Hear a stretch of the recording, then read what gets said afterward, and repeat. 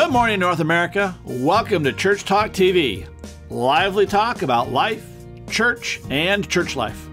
I'm your co host, Dr. Bill Tenny Brittian, and I'm joined as usual by my co host, Dr. Kris Tenny Brittian, and we're broadcasting from our studio in Columbia, Missouri, the heartland of America. Say good morning, Kris. Well, good morning, good morning, good morning, and welcome to Church Talk TV. Kris and Bill Tenny Brittian here to talk to you about hey, how to do guest follow up so that at least 50% of your first time visitors return and so you can grow your church. Yes, well, we did a recent episode on how to get contact information, but too often churches don't leverage that important tool. And we talked about it in terms of worship, but you know, sometimes Yeah. you get a. a worship and uh, contact information by you know maybe you have a door prize at an event and you yeah, I love that. Yeah, That's one of my Yeah, favorites. and, and you have to have you have to give us all your information so we can contact you for winning this, you know, fifty or seventy-five dollar, you know, prize of some description. People go, "Well, yeah, hey, I want that," and now you get really a great list of contact information from people in your community. Well, let me say, one of the creative ways I've seen that done is that you have the invitation cards that you're using, these, you know, just little bits of cards that your folks are able to use, uh, the folks of your, your church are able to use and send to their friends or give to, you know, previous guests or whatever. But on the back of that card, so that they can even fill it out beforehand, is their the name, the address, all the information you need. So when they come, they just drop it into the box for those. I always want to call them door prizes, Yeah, but door or prizes, I was thinking hostess gifts. But Yeah, okay, whatever, okay. So if you've got the complete information, let's go go with that. And uh, and we're talking about worship first, Yeah, right? okay. So Well, go ahead. That's all Go the ahead. same. I mean, really, truly. Yeah, okay. But what, but you, if you get complete information, in other words, you got their email address, you got their mobile phone number, and you have a home address. We're going to talk about that primarily. But if you don't get it all, you can adapt. Okay, Yeah. we'll talk a little bit more about that in a minute. But the first thing, Yeah. the first thing, let's and let's talk again. Talk about worship, Yeah. but it works for any event. On the day of the event, or if you will, Sunday afternoon. And I'm going to go, oh, I'm so tired Sunday. Yes, you want to grow your church? Hey, Sunday afternoon is the time to do it. And you take a gift to them, a gift of value, Value. something that will last, and they'll go, oh, and they'll keep it. And it's not like cookies; they're going to eat them and forget about you. Not about a pie or a loaf of bread. It's something that, that, that that's of value to them that they'll hang on to. And you also want to give them, with that gift of value, an invitation to the next event, whether it's a you know a written card or a brochure of the next sermon series or a, a, a, a free ticket to the screening of some movie you're showing or whatever. And you want to give them, of course, church information. And here's the key: if you have an average worship attendance of less than 200, this is the pastor's job. Yeah. And I know there's a lot of pushback. Oh, we don't. I know the pastor, you're busy, but I can tell you that we've worked with churches all across the United States for a lot of years. Yes. And now this did change about 15 years ago. It used to be you send a layperson, Right. but now you send the pastor because people want to meet the big cheese. They want to meet the CEO. They want to meet that person who was up front talking to them. Now. You're not going in there to have a conversation. You're not going to accept an invitation to, oh, come Oh, in, no, yeah. Pastor, because you're inconveniencing Right, them. right. You're just there to drop off a gift, Right. say, hey, thanks for being here, and I got this for you, and I hope we'll see you next Sunday. And then you walk away. in out never into the door regardless of whatever it is that they give you. And let, let me tell you how impressed people are by that. In one of my former pastorates i had uh, someone who lived in a gated community and i figured out how to get into that gated community. Ooh, and sneaky. i know that they were mad at about it. They're like whoa you know you really wanted to find us. Yes i did because we're so excited. And and that was in a, a church that was about 200 that we were able to to do that There we are. There. Okay. Now, here, if the church is over 200, then you want someone who is hopefully or preferably someone who was up front during the worship service they were in your guest was in so that you know that they, they recognize a face oh you were the person who uh, read the scripture or you led the music or hey you're the drummer awesome you know someone hopefully they recognize the third option of course is just send someone who is a member of the church Right. who is gregarious and loves doing this kind of thing Yeah. There are some of us who All right, so stuff. that's what Yeah, you do okay. Sunday. Right. now it's Monday. So on Monday, you want to drop a handwritten thank you card in the mail. But we have an alternative to this. This is one of my personal favorites. You could, pastor, instead of, and, and that card needs to come from the pastor, the lead pastor, the senior pastor, yeah. definitely. Even And- if it's not the lead pastor who actually did the physical writing. Right. It's got to come from the pastor. Yes. Pastor signs it or someone signs it in absentia for the pastor. I- That- yeah. You know, it, it, it's got to come from the pastor. Right. I had a, a former administrator, and the running joke was, goodness forbid something happened to her because nobody would recognize my writing. yeah, it was There you are. always Leslie's writing. Uh, but here's the other piece. This is what I'm really loving. You do a uh, just a little video on your phone, and you say, hey, you know, I don't know, Kris Tenny Brittian here, and I'm Just so, you know, when you do it, you lift that phone up. You Oh, yeah. Down so your nose isn't like that. So up here. Oh, Right. That's why my nose looks like that. And That's enough. always learning something. Anyways, you know, really glad that you're here. You were with us uh, yesterday, and uh, just just wrote to say thank you, thank you so much. If you need anything, hey, call the church.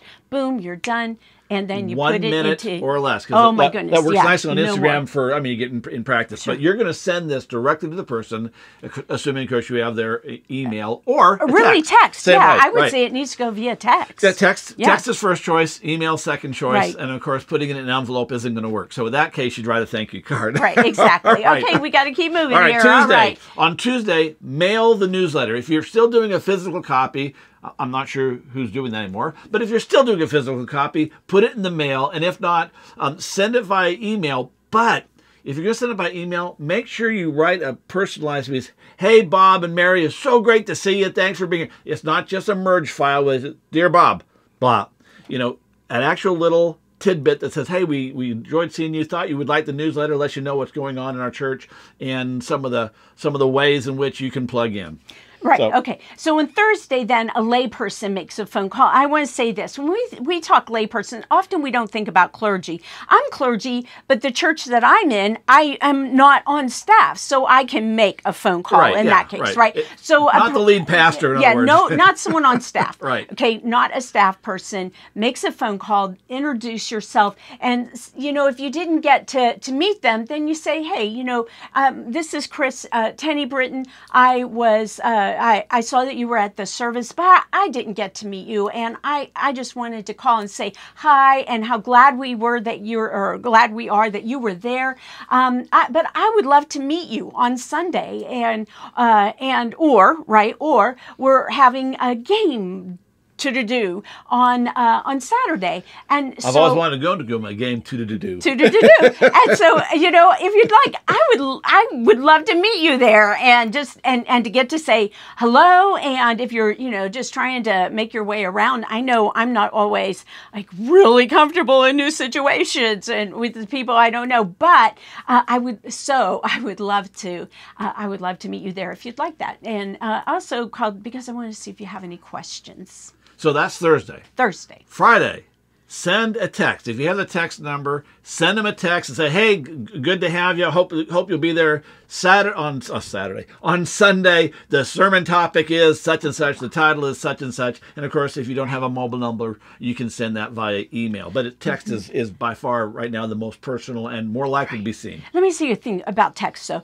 uh, uh, a lot of times pastors are sending pieces on their text. Please don't do that. Have a, a text number so that they can text you back. Uh, I, I have a Skype number so that I'm able to make uh, a call, uh, send texts or whatever. Google make Voice calls. has that Yeah, now. right. Exactly. I have that. I haven't figured it out yet. So, anyways, uh, so you can, but don't use your own personal text uh, for anything Your really. personal cell phone, she means. Right. Yeah, so they don't have your number and they can call you at 10 Don't o'clock at night. away. Say, hey, Pastor, anyway. All right. Okay. So again, if That's on that- Friday. that's your Friday and that's the end of the end of it.